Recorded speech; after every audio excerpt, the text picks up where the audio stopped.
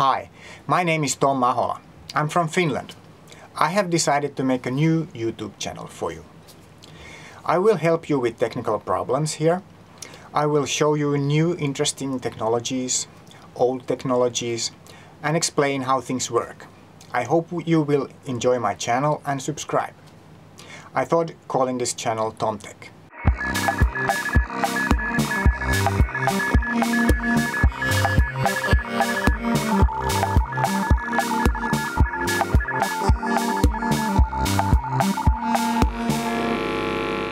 So, in this first episode of my TomTech videos, I'm going to show you a trick which you find useful if you ever use a heart rate belt to measure your heart rate during sports exercise or whatever activities you are doing and you might have a problem with it.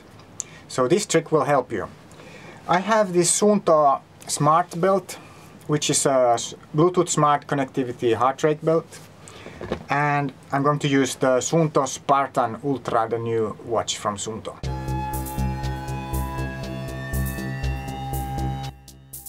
Now, I have heard that some people have uh, great trouble with the heart rate belt. They might not be able to pair it, or the heart rate uh, breaks up, not showing the heart rate, showing the wrong heart rate. Different kind of troubles. My trick is going to help you. Now, according to the instructions you get with the heart rate belt, you're supposed to moisten the contacts of the belt, put water in it. Now that's a really stupid advice and I will show you why. These contacts are made of conductive plastic. They are meant to conduct the weak electrical signals from your heart through your chest to the heart rate module that measures your heart rate. Now, water is conducting electricity. But why put water on the contacts? They already conduct electricity. Now, probably the idea the people had who made the instructions was that if you put water on the contacts of your heart rate belt and then put your belt on your chest, the water will get on your skin and then improve the contact to your chest. However, this does not work very well. And this is why. So here's the contact of the belt.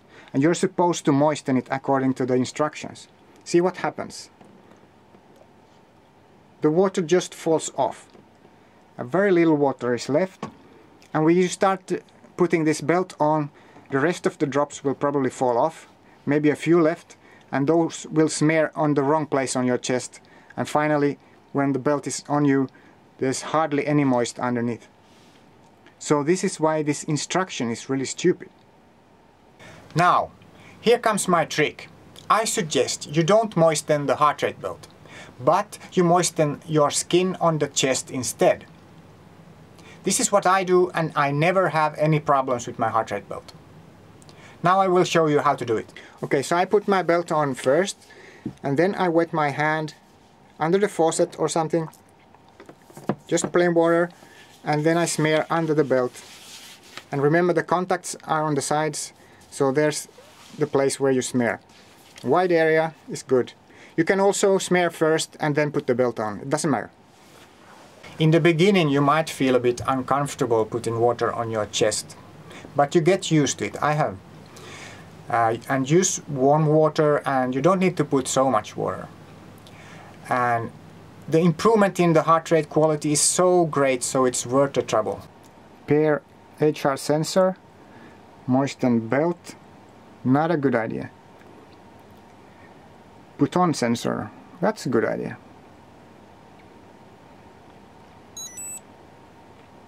And it works perfectly every time for me when I do this trick. Okay, if my trick doesn't help you, there might be still a couple of problems you might uh, think about. One is the battery.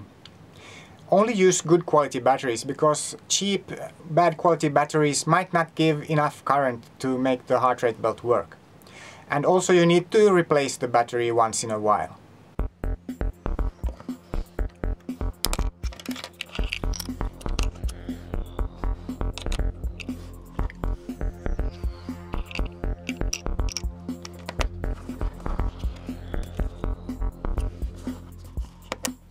Now another problem you might have with your heart rate belt is contamination or degradation of your uh, contacts. When you use your belt for a longer time, dead skin cells or deodorants or whatever might uh, deteriorate the material and the conductivity will decrease. Even washing won't help you. Okay, now I'm going to show you how to measure the contamination of the pads of your heart rate belt. Remove the Bluetooth module from the belt and then contact the two pads together, you see, and press hard and then you need a multimeter. Set the multimeter to measure resistance. Keep pressing the pads together while measuring the resistance between the contacts. And then observe the resistance from the meter. It should be less than 10 kilo ohms and this belt is in a really good shape because it's less than 1 kilo ohm.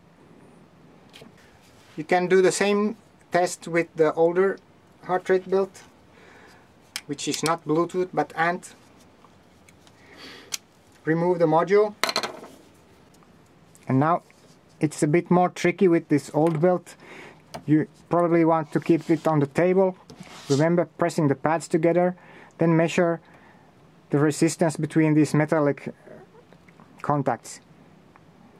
Now it's 1.6 kilo ohms, which is pretty good. Here's another belt, an old one. I tried to measure it the same way. Whoa, now you can see it's more than 20 kilo ohms, so this belt is really bad.